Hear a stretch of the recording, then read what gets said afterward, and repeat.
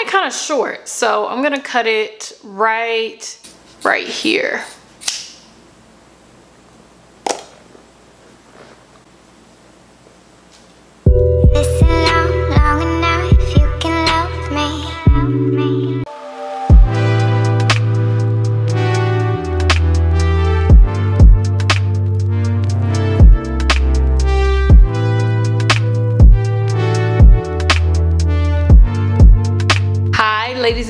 And everybody in between. I'm back with somebody else's hair in a glass of wine and a straw. And guess what?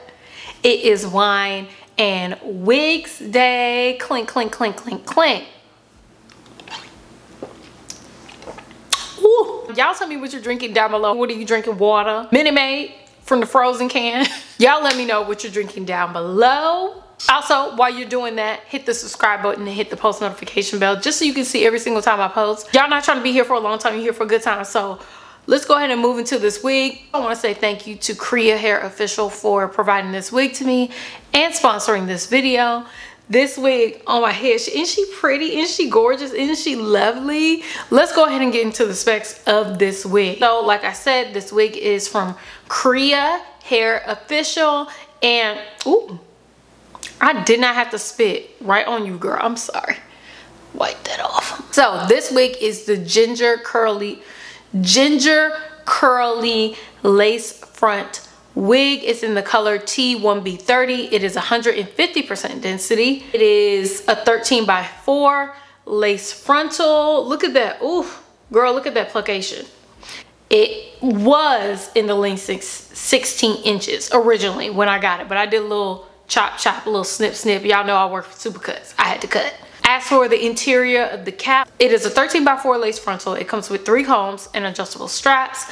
And of course, in your box, they provide you with gifts. These gifts are a wig cap, a baby hair brush, some big old lashes. I had to do a couple things to make her look like, you know what I'm saying? Make her look like me. Make her look like she's growing out of my scalp. Let me actually show you what it looks like in the back.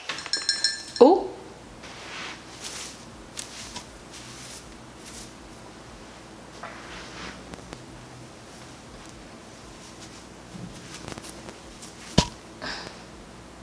This is how I make my hair look larger than it is. I take all the hair and push it to the front.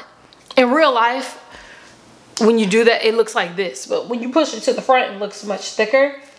So it's a little trick for the grass. So if y'all wanna see what I did to customize this wig and make her look a little bit more like me, please keep on watching and then I'll be back. Okay, y'all, let's go ahead and start with this wig. I'm not gonna be as finicky about my base like I really am finicky at all. Y'all know I'm like base averse. Y'all know I don't care about the base. As long as the wig look good, my base can look a fool. We're gonna start with our wig grip. I always use my wig grip. Let's throw on our wig cap. This is the same wig cap I always wear. She has a hole in her. But that is oh tag because I don't think anybody's gonna see that. Let me make sure it's not front and center though. Like get some class, girl, get some class. Our wig cap is on and our base is done. We're not playing games today, girl, it's Saturday. I wanna go outside and play. So this is the wig after washing. Okay, let's put her on. And y'all already know what our next step is gonna be. Y'all know, oh, y'all, this hairline is looking cute. That is a fantastic hairline. Shout out to Takiwa Sprouse. Shout out to you girl because she said I got pluckitis. And I do, I got pluckitis. I just got this urge to pluck. This hairline is just fine and part of me doesn't feel like plucking today. A little bit, little bit, just a little bit. So when I'm plucking, I do the same thing. I part in sections so I'll part a tiny little section and then I'll move forward, pluck here and then pluck the front just to thin it out just a little bit. I just take a good set of tweezers. I'll leave a link for it down below. But y'all can see how I do it. If you've been here before, you see how I do it. I pluck it till I have no edges. If you got a wig in front of you, girl, just, just grab about a scalp and start plucking because I don't want to be alone in this. you raise your hand if you got pluckitis. Y'all pluck with me. This is gonna be an easy, quick pluck, okay?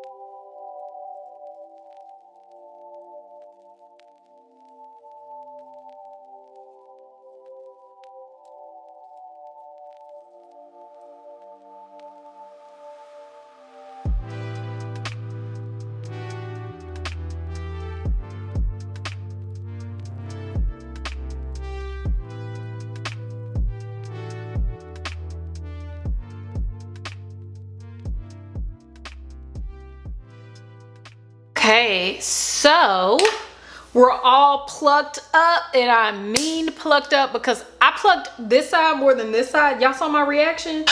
Oh, I did too much again. Notice that wigs that have color, um, especially in the lace frontal, you can see that the density is different between the front and the back. Like it's a little bit drier and thinner where the lace frontal is and then thicker in the back. So if you do want a length, you may have to go one or two inches longer to get the length of your desire because I always cut curly wigs. But we're gonna mold the hairline and I thinking I want to do center part. Okay, I want to do center part and kind of like short bangs. I want it to be like short. You can use a wax stick to flatten, but this is curly hair. I feel like it's easier and better and looks better to flatten your hairline with a mousse, um, a flattening mousse. And the flattening mousse that I prefer is the ZLA Instant Flattener Flattening Souffle. So let's pull it back like this. We're gonna take the mousse and we're gonna put it right on the hairline. We will be tinting our lace today, but I tint my lace after using mousse because the lace tint that I use bleeds. So it's better just to set it and forget it. You know what I mean? You know what I'm saying? So we're gonna take a baby hair brush. I have so many of these now because some wig companies are starting to put baby hair brushes in, in the box. These baby hair brushes are what we need, girl. We don't need them earrings or them big old elephant lashes. Give it a baby hair brush. So that's all done. Now we need to take our wrap it strip. You already know. I use the same sort of products. I'm gonna take the wrap it strip and lay it down flat. The hair is all stuck in between my fingers. And I can't knot. Why am I so mad? Move the hair out of the way. Step one, girl. Whew tied it in a knot and we're just gonna let it dry. This Revlon blow dryer is already plugged up and ready to go. So we're gonna go ahead and use her. I'm gonna turn her on high and cool to speed up the drying process. So let's go.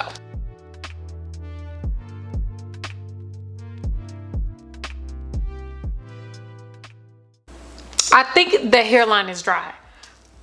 It it may or may not be dry. I don't know, girl. Ooh, it's always like this cutest little reveal. Oh my God, oh no. And y'all, this hairline is sickening. Like it makes me sick and we're gonna make it look a little bit thicker. I have learned that it's always important to use a lace tint and it's important to find a lace tint that works for you my favorite lace tint.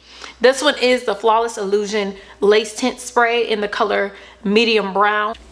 Let me go ahead and take this off because we're gonna go ahead and spray the tint onto this wig.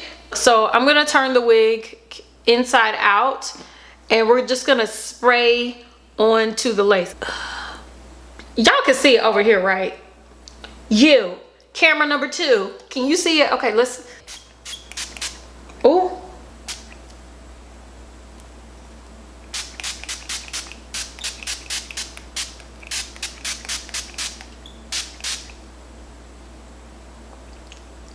I think that's good enough. Let's go ahead and dry her off. You're gonna blow dry it on warm, high, just to set it. Let's plop her back on. Oh, you see the difference in the lace? I don't know what the technology does, but it gives. Now that we done found our scissors, we can go ahead and cut our lace. I follow the hairline to glory. Take your time, get real close to a mirror, get real close and acquaint it like there's a mistletoe over your head, bruh. And let's cut. Why am I yelling?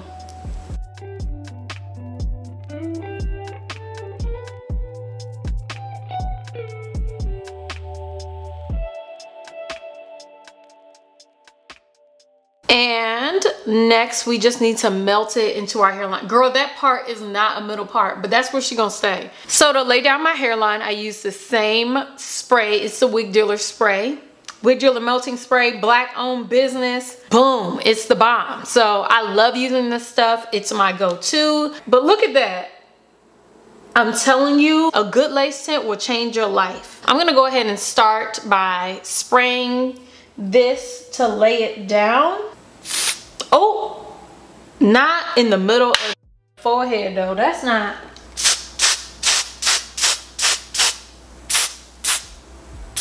Blow dry on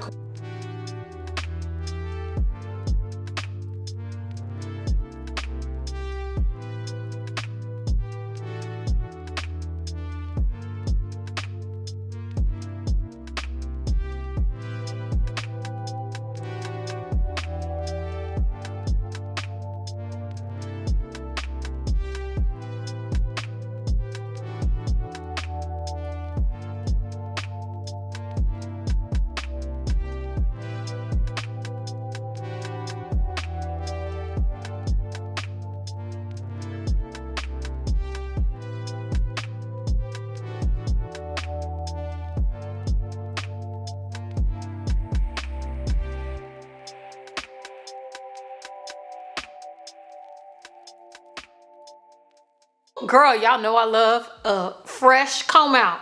So the hairline is down and look how good it looks without any baby hairs. We don't need baby hairs but guess what we're getting? Baby hairs. I'm gonna start here combing out all the product and we're just gonna lay down the baby hair we're gonna take our Got2b Glue gel. I love using this gel.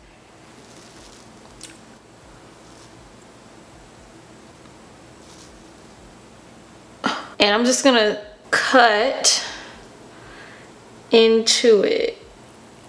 Like so, like that. Ooh.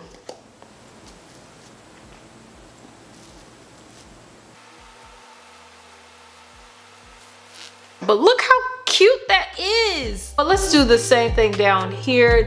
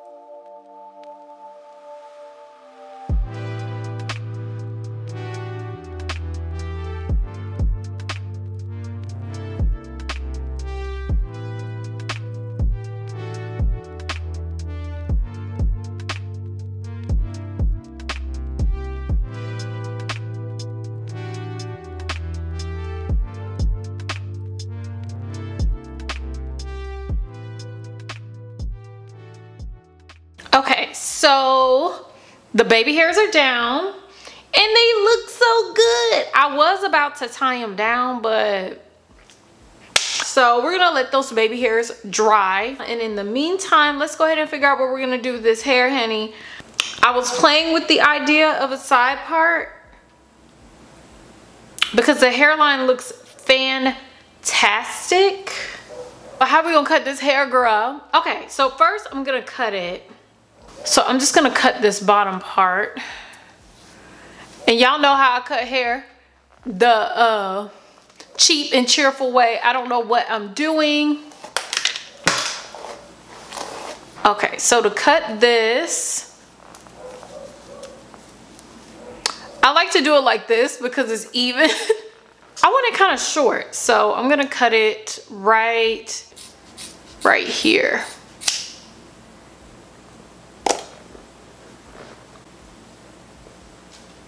That's good. Ooh! I love it!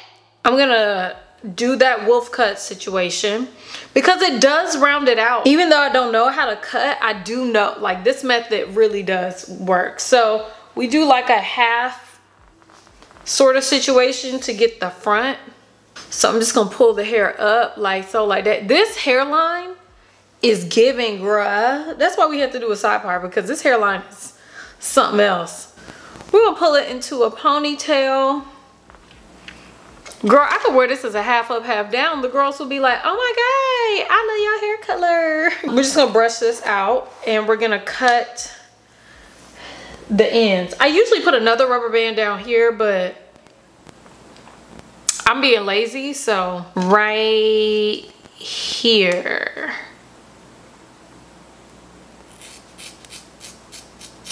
There we go. I'm not even really trying to do it like perfectly.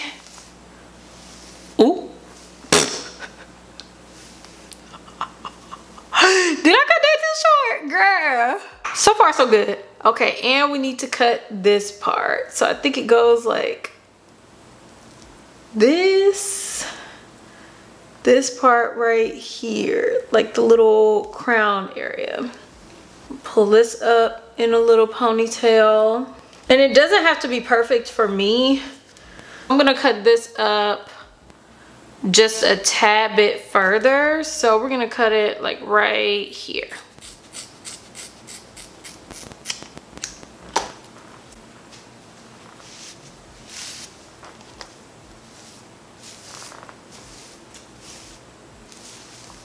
All right. And then I'm gonna do that um, that thing that the girls do, those bangs, I forgot, the curtain bang trend. You kind of do a triangle, a little triangle, bring it forward, and I'm gonna cut it right, right there.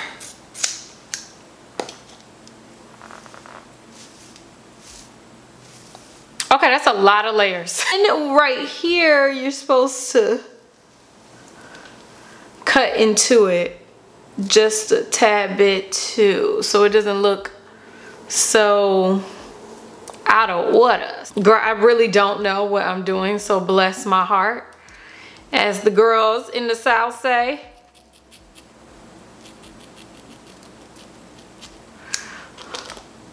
Somebody stop me, please. Okay, let's do this side. I'm gonna cut right here. It's gonna take some of the hairs like in the front. And cut into it. Yes, God. And the hair is shaped. we did it, girl. I'm gonna round this. Y'all see that part sticking out? I'm just gonna take it off.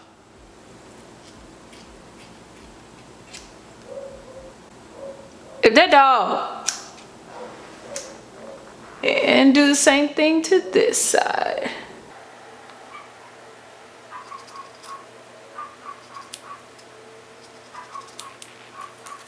But this looks really good and round and kind of like what I was looking for. I think I want to do the side part because the hairline is giving. So we're gonna do side. against my better judgment, we're gonna do side part. In order to do side part, I do have to kind of redirect the hair back here. So I'm gonna take my ZLA flattening souffle once again. And I'm gonna separate the hair and just kind of mousse it.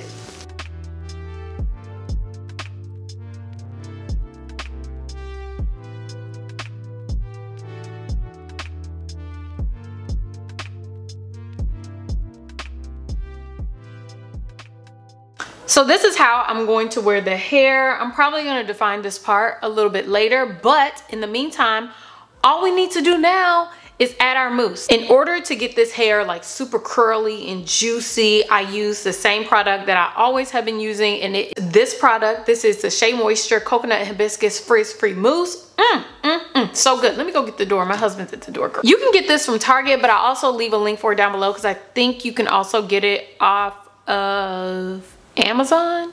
I'm pretty sure. But I think the side part works so much better. Why didn't y'all tell me in the beginning? I like to section the hair in half when I do that. So I'm gonna start on this side and I'll end on this side. So let's section this hair away. Where my hair tie at? Girl, I would lose my nose if it wasn't attached to my face. Where?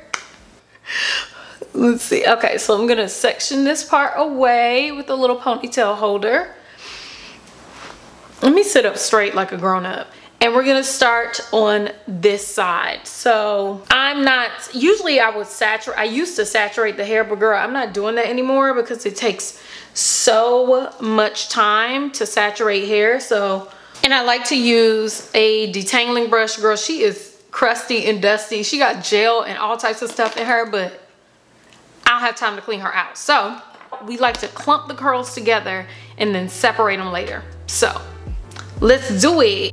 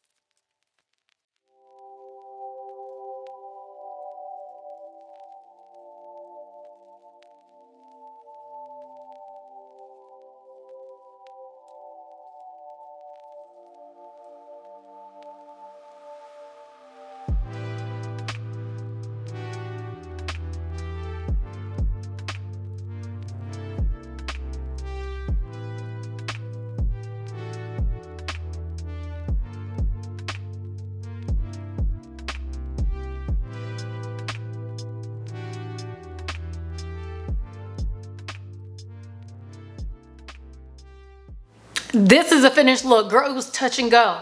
For a minute, it was touch and go. I wasn't really sure if I was gonna like it. And I love it. Now I like it. I was telling my husband, I was like, mm, something's off. And that's what it was. She needed a little bit less weight on her. And oh, so much better. But right now it is 628 and I started filming at like two. Girl, I had to take some time to do this, but it was worth it. Let me go ahead and show y'all the bag. This was a labor of love, honey. Y'all saw me change that part. Oh my God. okay, let me show y'all the bag.